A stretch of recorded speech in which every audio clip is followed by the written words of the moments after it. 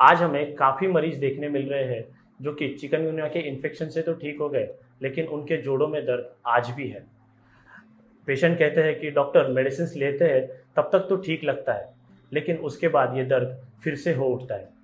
तो चलिए आज इसी बात पर चर्चा करते हैं। नमस्कार, मैं doctor Kalpesh Chauhan, homeopathy consultant आज हम बात करते हैं चिकनगुनिया अर्थराइटिस के बारे में, जो कि चिकनगुनिया के इन्फेक्शन खत्म होने के बाद होता है।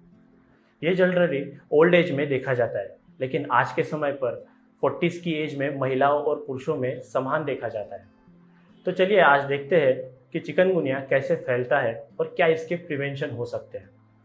अब बात करें चिकनगुनिया की तो ये एडिस एजिप्टिस नाम के मॉस्किटो के बाइट की वजह से फैलता है। अगर आपके आसपास चिकनगुनिया के अगर पेशेंट है तो ये मॉस्किटो उन्हें बाइट करने के बाद अगर हेल्दी पर्सन को बाइट करता है तो इसी प्रकार से आपका ये इन्फेक्शन फैल सकता है और आपको भी इन्फेक्शन होने की संभावनाएँ बढ़ सकती है। अगर बात करें प्रिवेंशन की तो प्रिवेंशन के तौर पर हमें ये ध्यान रखना है कि हमारे आसपास कोई पोल्यूटेड वाटर तो नहीं है जो कई दिनों से आ, कहीं साझा हुआ है कहीं जमा हुआ है तो हमें उसको तुरंत खाली करना है। उसी के साथ साथ कूड़ा कचरा है तो उसे भी हमें खाली करना चाहिए। उसी के साथ साथ जब भी हम बाहर जाते हैं तो खुद खुद को कवर्ड करके जाना चाहिए, ताकि हम मॉस्किटो से बच सके। अब इतने प्रिवेंशन के बाद भी अगर आपको फीवर उसी के साथ अगर जॉइंट पे नज़र आता है तो तुरंत ही जाकर चिकनगुनिया आर टी की टेस्ट कीजिए। ये टेस्ट आपको डे वन से लेकर तो डे सेवन तक, यानी कि इन्फेक्शन के पहले दिन से लेकर सातवें दिन तक ये टेस्ट आपको मदद कर सकती है कि आपको चिकनगुनिया है या नहीं। इसके अलावा आप दूसरे टेस्ट भी कर सकते हैं। जैसे एंटीबॉडी टेस्ट होती है, जो कि आईजीजी आईजीएम टेस्ट करते हैं। वो इन्फेक्शन के सातवें दिन से लेकर तीसवें दिन तक हमें काम आ सकती है। अगर सिम्टम्स की बात करें तो फीवर जॉइंट पेन जॉइंट में स्वेलिंग आना बॉडी पर रैशेस आना मसल्स में पेन होना, ये सारे सिम्टम हमें नज़र आते हैं। फीवर लगभग सात से आठ दिनों तक होता है, जो कि 90 परसेंट पेशेंट में देखा जाता है। मसल पेन जो है, वो सात से लेकर पंद्रह दिन तक रह सकता है। वो भी 90 परसेंट लोग पेशेंट में हमें पाया जाता है।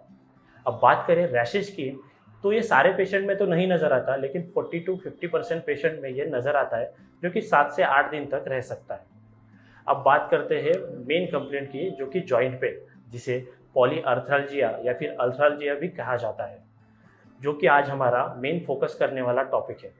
अब पेशेंट काफ़ी बार क्लिनिक में आते हैं और कहते हैं कि, डॉक्टर इन्फेक्शन तो ख़त्म हो गया है फीवर तो ख़त्म हो गया है रैशेज तो ख़त्म हो गया है, लेकिन जॉइंट पेन आज भी है, जो कि कुछ वीक से लेकर कुछ महीनों तक भी रह सकता है।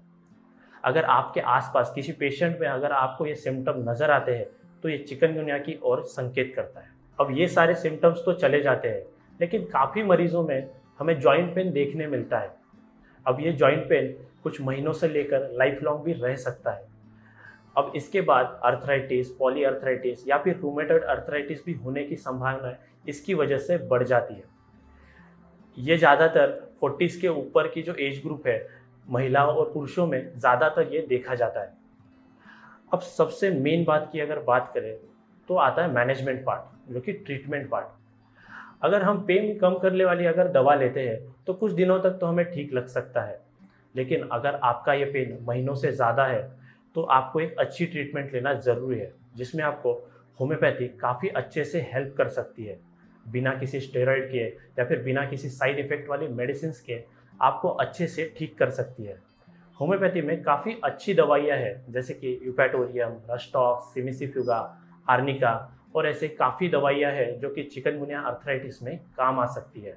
सेल्फ मेडिकेशन मत कीजिए, किसी अच्छे होम्योपैथिक कंसल्टेंट से ही आप अपने मेडिसिन लीजिए।